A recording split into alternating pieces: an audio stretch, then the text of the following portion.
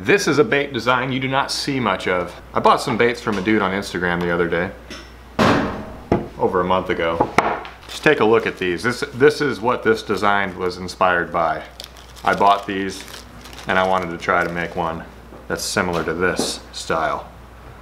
This is a guy from Czechoslovakia that makes this style of bait pretty often. It's a thin little flappy tail. I'm calling this bait the Epic Darter, but I, I don't even know what he calls these. Isn't that a nice bait though? There's airbrushing involved. I think there's plastic layering. Like it looks like red plastic was melted into the under the gill right there. And on the fin, there's even some orange and stuff. That's just a spiffy looking bait.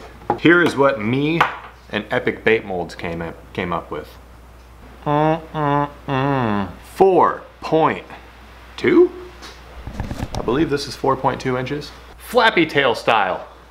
With a hook insert, or a hook slot to be inserted into, on the top and the bottom, and the top hook slot goes through the top fin as well. You'll see, I'll show it to you in detail. Let's shoot some. I haven't shot any yet, Jason has. And they're looking minty. They're just looking fine as heck. Shake your plastics, fellas. Oh shoot.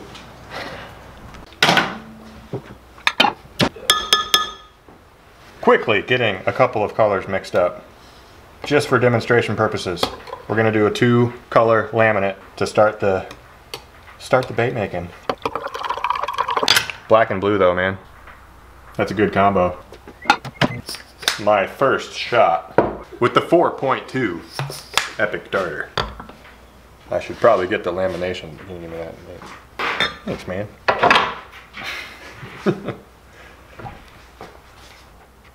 I think my plastic was a little too cold. Okay, I don't, I don't think this turned out all that well because my plastic was very cold when I shot it. Oh, but it turned out perfect. Silly me, it's an epic bait mold. It always shoots well. Man, that tail's nice and flippy floppy. You guys see it flapping?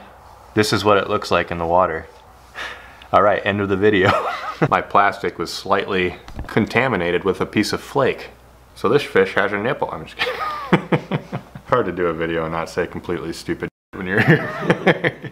Great lamination though. I'm gonna try a triple injection now since the double injection was perfect, but the plastic was cold. I think I'm gonna keep it cold. Usually the triple injector works a little better when the plastic's cold. 330, 340, give it a go. Some stuff to stir real quick. Colors hot, very hot actually. Probably too hot. I should wait for these to cool down. Woo! I think 390 is a little hot. I'm gonna wait exactly one minute. Just kidding. And then pop one more of these in the microwave, the red one, have it catch up with the other two, and then I'm gonna shoot. That's my plan. Okay, there's the three colors. Here's the triple injector. It's where the magic happens.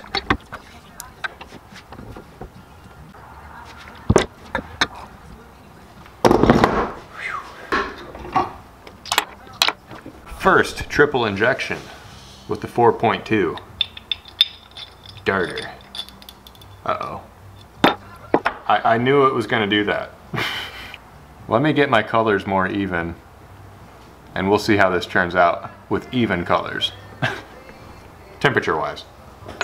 Let's try this, oh, okay. I'm gonna clean this injector. That'll give time for these plastics to cool off. I just heated them up. Let's try that again. Maybe this can't be triple injected, who knows? I shouldn't say that this quickly, but please work. I think that worked. The sprue looks a lot different. I think that worked fine. There's red in the middle, blue on this side, black on that side. The other sprue just looked like a mess. No discernible colors whatsoever. I split my pinky nail open this morning on my pliers while I was reaching into my pocket. You guys done looking at that? Okay. Much better. Look at that. You can see a distinctive red line. Distinctive. Mmm. It's not perfect, but it's decent. Towards the end of the bait, it just turns into just a hardcore red tail. I like that. For a triple injection, and it's just a bait you want to use, that, that is good enough for me. I like that. That's right. We are getting extremely detailed here. I'm going for kind of a perch thing. It might have different colors, but it will be kind of a perch thing.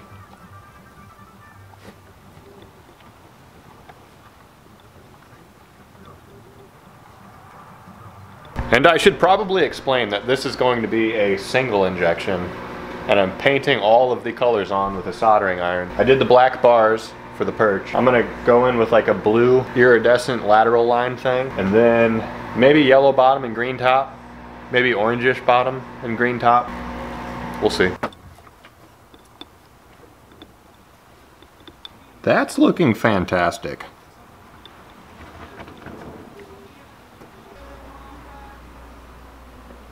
Color shift.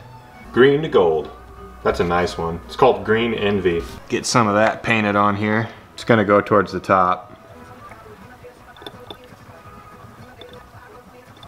Very nice. And the last detailed little color we're gonna put on this is gold. This is like a light gold. It's called diamond gold. I'm just gonna put this right under the lateral line. Oh no, I put it above the lateral line too. And here is the colors before I inject this bait. There's the bars, the black, the gold, the blue, and the green. Let's inject. Okay, the only pigment I put in this is called Minnow Silver. And it's the smallest flake I have in liquid form. Super, super small flake. And I put a buttload of it in here. It's gonna need one more heat up. I wanna shoot this at 350, but here we go. Man, I need some kind of momentous music playing in the background. Just picture it in your mind right now. A little bit more pressure on the injector than I normally do because there's all that detail and you want to push the plastic around it. I'm going to put this on the hot plate right after this. It needs to cool off fully before I put it on the hot plate, but that's what I'm going to do. All right, we're all cooled off onto the hot plate. What that's gonna do is melt just the outside of the bait inside of the mold and all those colors that we just painted on are gonna melt together and adhere to the outside of the mold at the same time so you get all of the detail that the mold has along with all the colors that we just painted on. See you when we demold. The sprue is protruding. That's awkward. Here is the big unveiling of the fanciest 4.2 darter ever made so far. Ooh, that is so nice. Look at those colors. I'm gonna put an eyeball on this. Oh, jeez. oh, jeez. Look at that bait. Wow. That's not totally perch, but those are good colors. And the minnow silver, that tiny, tiny flake, that was perfect for a base for this bait. Let's tie this up. Let's go fishing. I found a really good backwater spot to a river. We might be able to drop this down. The bait fish are schooling up and being bait fish right now, so we might get some predators today. We're at the spot with one of the most beautiful baits I've ever painted when it comes to soft plastics. I love this thing. I, I'm kind of thinking it's a shame to throw it, but I'm gonna throw it. This is backwater to a river, once again. It's kind of water I usually fish.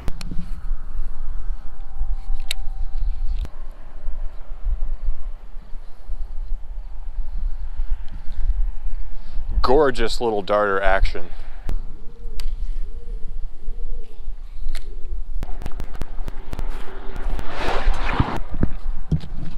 It's the next day. But I made a color last night that I need to show you guys. Look at that. Super sparkly. Bluish smoke on the top. Pearly, flaky belly on the bottom. Whew. Sorry. I just needed to show you that. Still fishing today. I'll see you at the spot.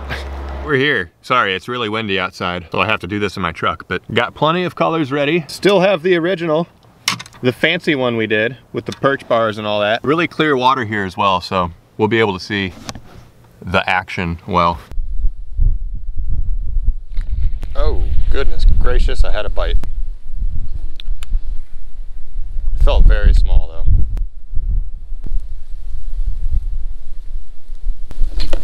That one. It's official. Low and slow and almost no action is what that bass preferred. I was just dragging it. Be free. It's official. Bass, like the Epic Darter. Let's go somewhere else. Jesse's. We're at Jesse's. I did not dress for the occasion. It's freezing out here. But if I catch a fish at least, it's worth it. Let's catch a fish. And if anybody's wondering, this Battletech rod by Savage Gear, fantastic rod. I am loving it. Plenty of backbone to set a 4-aught beast hook into a fish, but a little bit of give in the tip. Usually I'm a very, very extra fast kind of action guy, but I'm enjoying this with that give in the tip. Just a little bit. Smooths out the casting too. Oh, sensitive enough to feel that fish as that bait was falling off. That fish bit on the fall, but I felt that real well. It's official again. I don't know if I made any sense right there with what I was saying, but yeah, these fish are even churning colors. Their lateral lines are getting dark. This bite is slow. Be free. Wow, flipped himself into the water. But this time of the year, that action where this bait's just super slow, creeping along, and then especially, like I just casted that bait and let it fall. I think I, I, I might have reeled it a little bit, I can't remember. But I felt that bass while this bait was doing this on the fall. Honestly, I enjoy ripping a topwater bait across the surface and watching a fish blow up on it or just cranking in a crank and just getting that hard hit. A lot more than this style of finesse fishing, but when this is all you can do, you gotta take it. That's probably the highlight of this bait, the action on the fall. It just shimmies its way down. I think I kind of had a video idea of something I really need, and that's a uh, big test tank this winter for the baits that I make. I'm not going to be able to fish with them as much, so it's probably best that I show extremely detailed action of the baits. Building the Marling Baits test tank. Bait test tank. Marling Baits bait test tank. Hard but soft. They're not hooking, they're not hooking themselves whatsoever, but they're smacking it like crazy. Yeah, you can do the darting thing, and it and it does a good job of changing directions. Yeah, and just for having that lead on the belly with the 4 aught beast hook, it does a good job of snaking around and darting side to side erratically. And then there's a straight, slow retrieve, and it'll do the wobble. Hopefully you guys can see that wobble. Beautiful, very finesse action, side to side. That's all that I'm using right now today because the bite's really slow. But it's a belly roll and a bit of an S wobble. The tail's flapping.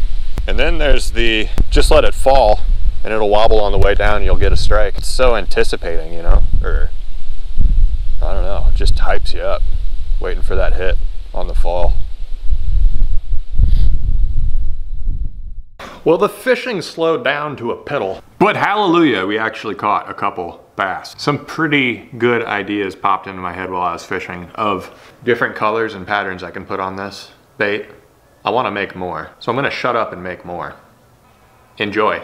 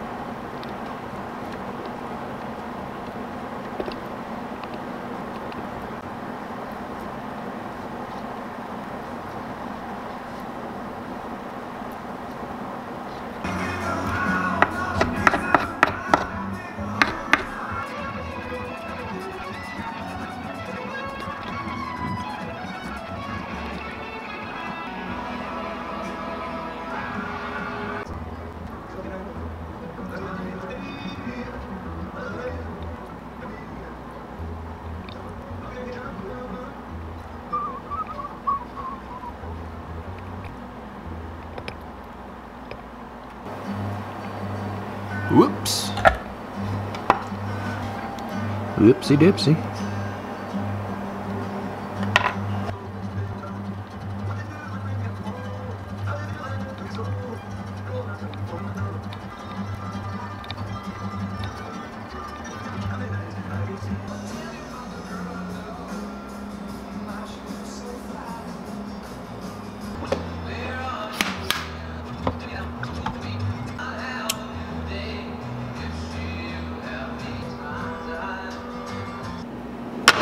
It was on the hot plate.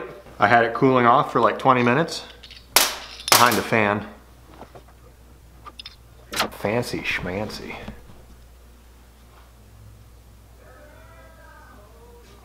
The nose got a little funky. Let me try to fix that real quick. Well, maybe this bait will serve its purpose best on a jig hook or something, but I was going for crappie, if you couldn't tell. Blue top, greenish, goldish, crappie spots. I like that. I like that a lot. Maybe I should just go for another and show you what I come up with. I'll be right back.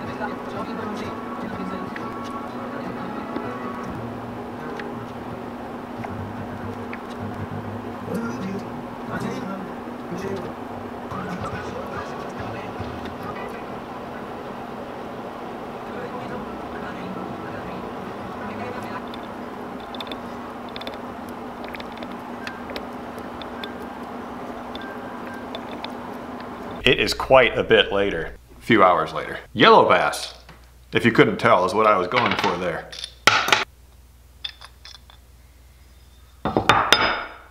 Ooh.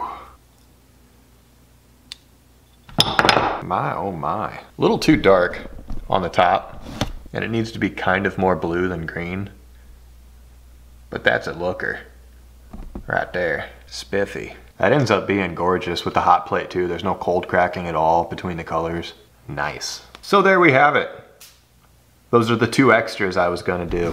If you are interested in an extremely high quality mold, the Epic Darter, go to epicbaitmolds.com, link in the description. Get yourself a mold. A rather specific bait, but extremely practical at the same time. I don't know, it's just something about that style of bait. I really like that bait. If I have to be finesse fishing, that's what I, that's the kind of thing I want to be throwing.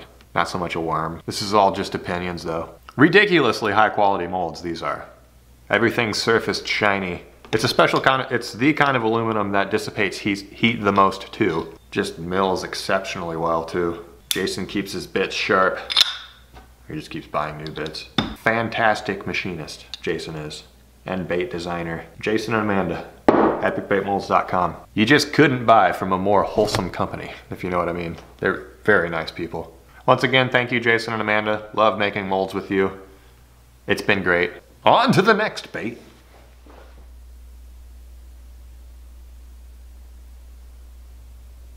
So this fish has a nipple. Oh, that's awkward. I, I knew it was gonna do that. Flappy tail style. Distinctive. Mm. Oh, jeez. You guys done looking at that? Okay.